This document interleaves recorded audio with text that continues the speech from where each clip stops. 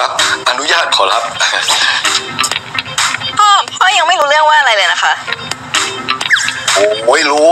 ถ้าเป็นหม่อมสามแล้วก็นะ พ่อกับแม่เนี่ย อนุญาตทุกเรื่องอยู่แล้ว พ่อ คือพอดีมีงานด่วนค่ะ ก็เลยอยากให้ม่อนไปช่วยทำงานที่บ้าน อาจจะค้างบ้านสามนะคะ ขอรับ อนุญาตเลยขอรับแหมก็แค่อืม ไปค้างคืนที่บ้านหม่อมเองแหมอย่างเงี้ยม่อนคงดีใจแน่ๆเลยขอรับ พ่อแค่นี้นะคะ ไปแล้วนะคะเดี๋ยวเพิ่งวางค่ะทำไมม่อนต้องดีใจด้วยคะอ๋อ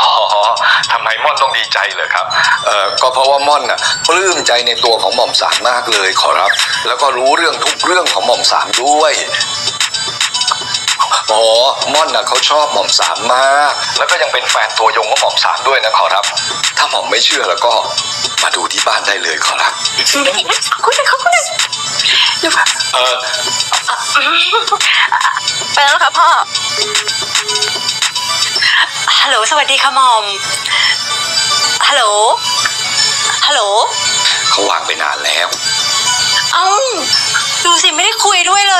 ยอะแย่ งโทรศัพท์จากเจ้านายไม่น่ารักเลยนะ ว่าไงแฟนคลับ เขินจนหน้าแดงแล้วเนี่ย แบบนี้ต้องตามเราไปไหนบ่อยๆ แน่เลยใช่ไหม ตอบหน่อยสิแฟนคลับ